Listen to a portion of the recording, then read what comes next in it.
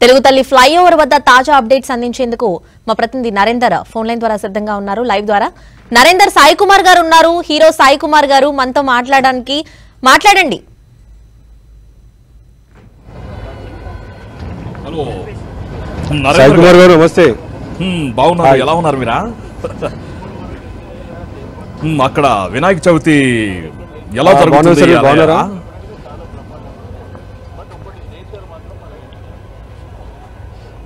Right Sai Kumar గారు ఇక్కడ వినాయక నిమజ్జన వేడుకలు చాలా ఘనంగా జరుగుతున్నాయి. మనం ఇప్పుడైతే నెక్లెస్ రోడ్డు అంతేకాకుండా ఇటు ఎన్టీఆర్ మార్గ్లో ఉన్నాము. చూసుకోవచ్చు మనకు దాదాపు ముప్పై రెండు క్రెయిన్స్ అక్కడ ఏర్పాటు చేయడం జరిగింది. చిన్న చిన్న వినాయకుల నుంచి పెద్ద విగ్రహాల వరకు కూడా ఇక్కడ నిమజ్జన కార్యక్రమాలు చేస్తుంది. ఎందుకంటే మనకు ఈ ముంబై తర్వాత హైదరాబాద్లోనే ఈ స్థాయిలో అంటే చాలా పెద్ద స్థాయిలో వినాయక నిమజ్జన కార్యక్రమాలు జరుగుతుంది భాగ్యనగర చుట్టుపక్కల నుంచి కూడా పెద్ద సంఖ్యలో ఇక్కడికి భక్తులు వీక్షకులు వస్తూ ఉంటారు. వచ్చి ఇక్కడ వినాయక నిమజ్జన కార్యక్రమంలో పాల్గొంటున్నారు. అంటే కాకుండా ఇటు జిహెచ్ఎంసీ కావచ్చు ప్రభుత్వం అన్ని ఏర్పాటు చేశారు సాయి కుమార్ గారు ఇంకా అక్కడ అన్ని జాగ్రత్తలు తీసుకున్నా అని చెప్పారు. అలానే అక్కడ లడ్డు ఎంత ఎంతకి వేలం పాటకు వెళ్ళిందో చెప్తారా?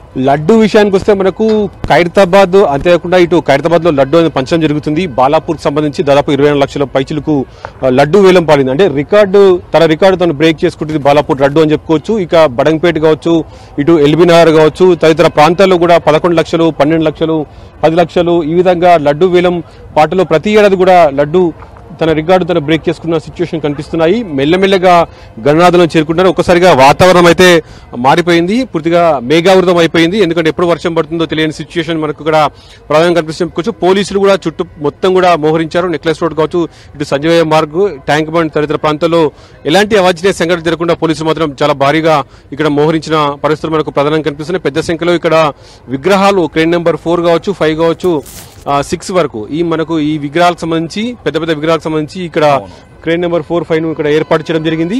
సో మిగతా చిన్న చిన్న విగ్రహాలకు సంబంధించి అక్కడ one two three four five సంబంధించిన క్రెయిన్స్ కూడా అక్కడ ఏర్పాటు చేయడం జరిగింది. చాలా మొత్తానికి అయితే ఇక్కడ జన ఘనంగా గ్రేటర్ హైదరాబాద్లో ఈ వినాయక నిమజ్జన కార్యక్రమాలు చాలా బ్రహ్మాండంగా జరుగుతుందని చెప్పుకోవచ్చు సాయి కుమార్ గారు. ఎందుకంటే చాలా స్పెషల్గా చెప్పుకోవచ్చు. జిల్లాల నుంచి పెద్ద సంఖ్యలో ఇక్కడికి హైదరాబాద్కు వస్తూ ఉంటారు చూస్తూ ఉంటారు. దాదాపు పద్దెనిమిది వందల తొంభై నరేంద్ర గారు మన భక్తుల గొప్పతనం ఏమిటంటే వర్షం పడని. ఏమి పడని. కానీ ఆ చక్కగా సాగనంపటానికి మాత్రం ఎన్ని అడ్డంకులు వచ్చినా కానీ చాలా జాగ్రత్తగా ఉంటూ మన భక్తులు ఎంతో అంగరంగ వైభవంగా జరుపుకుంటున్నారు నాకు దృశ్యాలు స్క్రీన్ మీద కనపడుతున్నాయి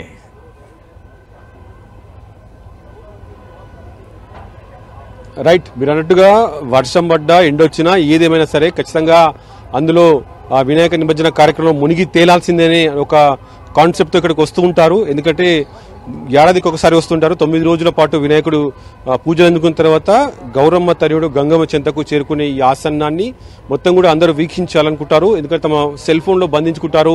సో ఈ దృశ్యాలు రెండు కళ్ళు సరిపోని చెప్పుకోవచ్చు. ఖైరతాబాద్ విక్రమ్ నిమజ్జనం ఒకవైపు మరోవైపు బాలాపూర్ మనకు యాత్ర మరోవైపు ఇటు ఓల్డ్ సిటీ నుంచి వచ్చే యాత్ర కావచ్చు ఇటు న్యూ సిటీ నుంచి వచ్చే యాత్ర. మొత్తం కూడా రెండు యాత్రలు వస్తాయి. ఇక్కడ నిమజ్జన కార్యక్రమం చాలా ఘనంగా జరుగుతుంది. సాయికుమార్ సాయి కుమార్ గారు. ప్రజలతో సాయి కుమార్ గారితో మాట్లాడించే ప్రయత్నం ఏమైనా చేస్తారా?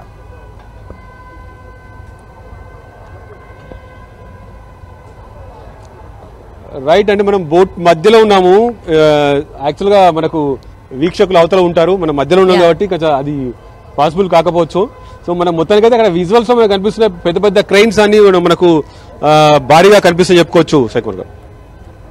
అవును వాళ్ళతో మాట్లాడపోయినా కానీ ఆ హోలాహలాన్ని చూస్తుంటే నాకు నిజంగా మాట్లాడినట్టే ఉంది. ఎందుకు మీతో మాట్లాడుతున్నా కదా? అందుకే నాకు చాలా సంతోషంగా ఉంది. మీతో మాట్లాడితే యావత్ ప్రజానికంతో మాట్లాడినట్టే అని నా ఉద్దేశం.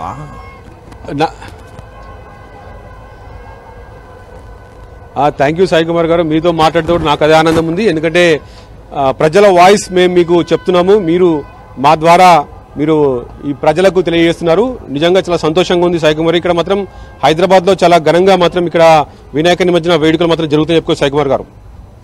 చాలా ధన్యవాదాలు. మీరు అలా మాట్లాడుతుంటే ప్రజలకి నా ఒక ఒక డైలాగ్తో వాళ్ళకి కొన్ని జాగ్రత్తలు చెప్పాలని హ్మ్, చెప్పమంటావా శ్రీ విద్య? తప్పకుండా సాయి కుమార్ గారు. తప్పకుండా. ఒక్కసారి ఆ గణనాథుణ్ణి చూడండి.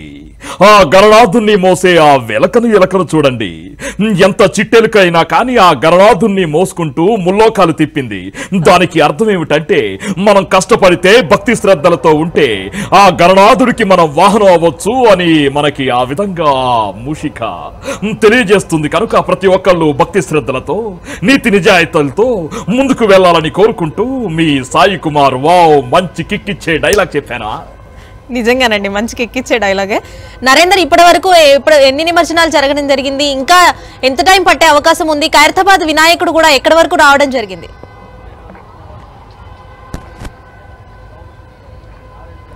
రైట్ ఖైరతాబాద్ వినాయకుడు శోభాయాత్ర కూడా ప్రారంభమైన శ్రీ విద్య అని చెప్పుకోవచ్చు. ఎందుకంటే ఇప్పుడు టెలిఫోన్ భవన్ వరకు వస్తున్నట్టుగా మనకు ప్రధానంగా తెలుస్తుంది.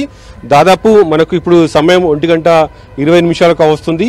రెండున్నర మూడు గంటల ప్రాంతంలో ఇక్కడ ఖైరతాబాద్ వినాయకుడు ట్రైన్ నెంబర్ ఫోర్ వరకు చేరుకోబోతుంటారు. ఎందుకంటే వర్షం కారణంగా వినాయక మండపాల నుంచి వినాయకులు బయలుదేరడం కాస్త ఆలయంగా ఆలస్యంగా ఉంది. దాంతోపాటు ఇక్కడ శుక్రవారం కాబట్టి ఓల్డ్ నుంచి మెల్లమెల్లగా విగ్రహాలన్నీ ఇక్కడ నిమజ్జన కార్యక్రమానికి వస్తున్నాయి. ఎందుకంటే ట్వెల్వ్ తర్వాతనే కొన్ని ప్రొసెషన్ అనేది స్టార్ట్ అయిన నేపథ్యం కనిపిస్తుంది. ఇవాళ అర్ధరాత్రి వరకు కూడా వినాయక నిమజ్జనం జరుగుతుంది. లేట్ అయితే కనుక రేపటి వరకు కూడా కొనసాగిస్తామని చెప్పి కూడా ఇటు అధికారులు కావచ్చు మంత్రి తలసాని శ్రీనివాస్ యాదవ్ కూడా అదే చెప్తున్నారు. ఎవరు కూడా భక్తులకు ఇబ్బంది లేకుండా ఉంటాయి. ఇప్పుడు ట్యాంక్ బండ్ పైన కావచ్చు ఇటు నెక్సెస్ రోడ్ అంతేకాకుండా ఇటు సంజీవయ్య పార్క్ ఈ ప్రాంతాల్లో కూడా నిమజ్జనం ఏర్పాటు చేశాము. ఎందుకంటే పార్కింగ్ వెసులుబాటు కూడా కల్పించాం కాబట్టి ఎవరైతే వీక్షకులు వచ్చినా కూడా ఎవరైతే వినాయక నిమజ్జన వాహనాలు వచ్చినా కూడా ఇలాంటి ఇబ్బంది లేకుండా నిమజ్జన కార్యక్రమం చాలా సాఫీగా జరగవచ్చని చెప్తున్నారు. Sreeja. Right thank you Narender